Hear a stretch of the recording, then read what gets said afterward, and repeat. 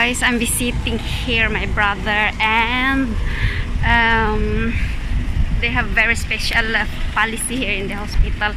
You must have mask and then they their visiting hours is only two hours. And then you must log in in their book and also you must have their visiting this one that you're hanging it in So mao ni ang Don Emilio Hospital sa Ubay Bohol niya. Mao ni ang view sa gawas.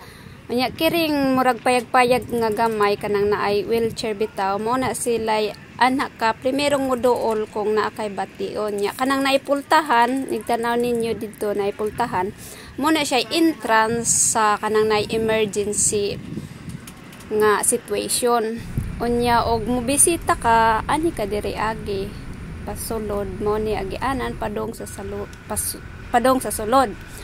Unya ag kininiya sa sulod na ni sa ward sulod na sa hospital. Unya nakalimot ko unsa ni nga ward diri dapita. Nya padulong ko ani sa ako ang manghod nga na ko diri confine So ako siyang bisitahon unya nagvideo lang kung gamay kay arong naamoy kuan ba na ay idea kung unsa hitsura sa Don Emilio Hospital. So when I was here for a while, so na-shock gud ko sa situation. For that short time I am here, daghan kaayo kong nabantayan nga both negative and positive. So this is one of the ward inside and this is how it looks like.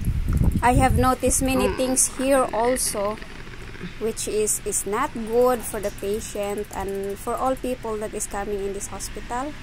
In my idea ha I don't judge anyone or I don't judge the owner or whatsoever. This is only my own opinion and my own feedback. The standard on the hospital for me it's not high and the hygiene is not that uh, good enough you see kulang yun siya sa hygiene unya ang quality sa mga uh, butang and medyo low siya.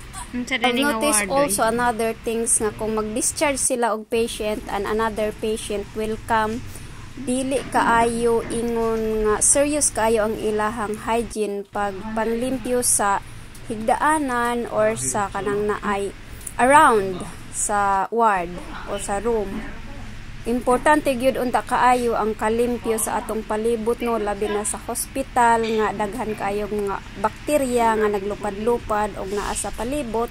So kinahanglan gyud unta nga kanang naay ang pagpanghinlo, pag-disinfect sa mga daanan, sa bedsheet ug uban pang mga gamit kinahanglan i-serious gyud ang pag-disinfect ay ang kahugaw sa palibot usa sa na sa hinungdan nga magkasakit-sakit ta ug musamot ang sakit sa isa ka tawo.